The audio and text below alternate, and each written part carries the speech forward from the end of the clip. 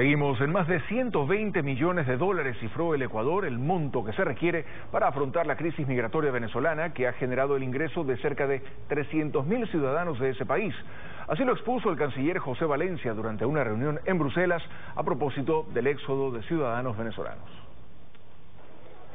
Para analizar la crisis migratoria venezolana, la Unión Europea y la Organización de Naciones Unidas organizaron una reunión en Bruselas donde estuvo el canciller ecuatoriano José Valencia exponiendo algunas cifras, como por ejemplo que entre 2012 y 2019 el Ecuador ha otorgado 126 mil visas a venezolanos y que en el mismo periodo se ha regularizado la situación migratoria de 108 mil colombianos, 60 mil cubanos, 55 mil chinos, 34 mil estadounidenses y 20 mil peruanos. Esto hace que aproximadamente en estos 10 años 416 mil personas hayan sido regularizadas en el Ecuador. Valencia dio cuenta además del impacto que tiene en la economía nacional el ser receptor de esta oleada migratoria y expuso los valores que se requieren para atender las necesidades de este grupo. De acuerdo a las cifras del Plan de Respuesta para Refugiados y Migrantes, establecido por agencias de las Naciones Unidas y organizaciones de la sociedad civil,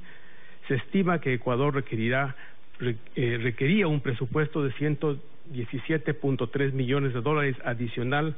El canciller dijo además que no se trata solamente de atender a los migrantes, sino de afrontar el origen de esta crisis y entonces habló de política. Ecuador no pierde, sin embargo, de vista que una solución duradera a la crisis migratoria yace en la salida pacífica, democrática, enmarcada en la ley y mediante elecciones transparentes en Venezuela. La ONU advirtió que a los cuatro millones y medio de migrantes y refugiados venezolanos se podrían sumar dos millones más en el 2020, aumentando así las necesidades de ayuda en los países de acogida.